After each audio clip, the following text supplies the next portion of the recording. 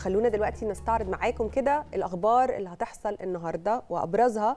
صرف مساعدات تكافل وكرامة للأسر المستفيدة عن شهر ديسمبر.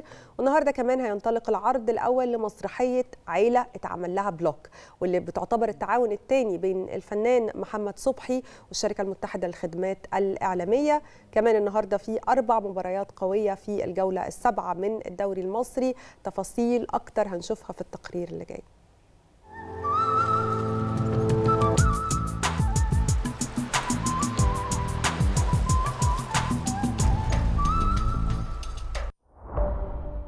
بالنسبة للأخبار اللي هتحصل النهاردة فهيتم صرف المساعدات النقدية ضمن برنامج تكافل وكرامة للأسر المستفيدة عن شهر ديسمبر الجاري وهي الأسر الأولى بالرعاية وكبار السن وذوي الاحتياجات الخاصة.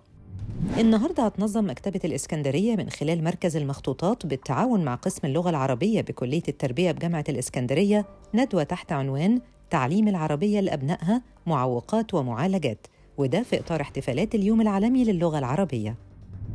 النهارده هينطلق العرض الأول لمسرحية عيلة عمل لها بلوك على خشبة مسرح سنبل بمدينة سنبل للفنون على طريق مصر الإسكندرية الصحراوي. المسرحية من تأليف مصطفى شهيب وألحان شريف حمدان وتعتبر التعاون الثاني بين الفنان محمد صبحي والشركة المتحدة للخدمات الإعلامية. لعشاء الدوري المصري موعدهم النهارده مع أربع مباريات قوية في إطار الجولة السابعة. هيلتقي سيراميكا كيلوباترا مع أسوان الساعة 3 إلا ربع.